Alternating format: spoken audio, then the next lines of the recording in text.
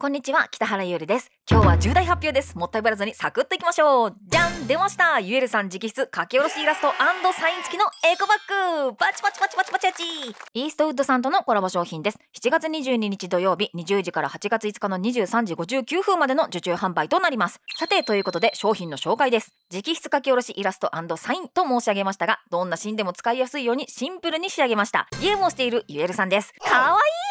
そしてこちらにゆえると見えますね。サインです。やったー！